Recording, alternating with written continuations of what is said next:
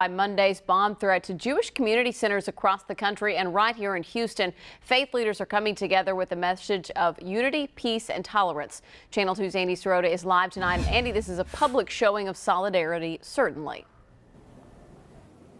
Lauren, it is. Diversity is a big part of the rich fabric of Houston. Faith leaders wanted the people here to know that what happened on Monday hurt people of all faiths, and as a result, it has brought our city's faith community closer together. In the wake of Monday's bomb threat, it didn't take long for the Houston community to show how much it cares.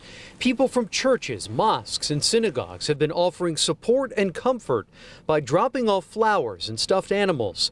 These handwritten cards from a Muslim woman and her three children really struck a chord with the executive director of the Evelyn Rubenstein Jewish Community Center. And she said we wanted to do something to express our feelings for what had happened and that we, to know that you're not alone and that there's other people that care as well. Monday's bomb threat is part of an uptick in anti Semitic incidents in Houston and in cities across the country. 68 targeting 53 Jewish community centers in 26 states since November.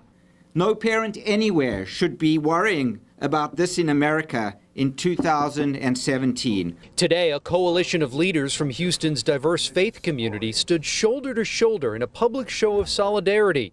Bishop James Dixon organized the gathering. What hurts one hurts all. What helps one helps all. Those gathered here today say hate crimes can take place anywhere. What's most important, they say, is how that community responds. We will not allow the seeds of hate to sprout in our city and in our nation without fierce resistance.